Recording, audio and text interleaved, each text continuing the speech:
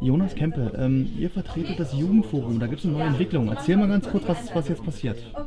Ja, also wir sind das Jugendforum und wir haben jetzt auf der Jugendkonferenz in Cottbus im März diesen Jahres haben wir die Jugendredaktion gegründet und wir sind mittlerweile acht Mitglieder und wir berichten von Veranstaltungen in Cottbus, die für Jugendliche interessant sind, die wir als interessant befinden und äh, über Sachen, die wir selbst fördern mit dem Jugendforum, genau.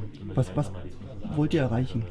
Wen wollt ihr erreichen? Also wir wollen die Jugendlichen in Cottbus ganz klar erreichen, weil wir auch selber Jugendliche in Cottbus sind und ich denke, da trifft man sich auf einer Wellenlänge und wir veröffentlichen diese Sachen, diese Beiträge, die wir mit der Kamera aufzeichnen, ähm, auf Facebook, auf unserer Facebook-Seite unter Jugendredaktion Cottbus und genau. Was sind die nächsten Schritte bei euch? Die nächsten Schritte werden sein, wir wollen mehr Mitglieder auf jeden Fall finden. Also ihr seid herzlich eingeladen. Wir treffen uns freitags immer im Kontaktladen im Sando am Doll und äh, freitags von 16 bis 18 Uhr. Und unsere Ziele werden sein, dass wir mehr Lokalredaktionen in Cottbus einrichten, in verschiedenen Stadtteilen, Jugendclubs, wovon viele Jugendliche gar nicht wissen und dass man da einfach mehr Beteiligung, mehr Jugendarbeit in Cottbus reinbringt. Viel Erfolg. Danke sehr.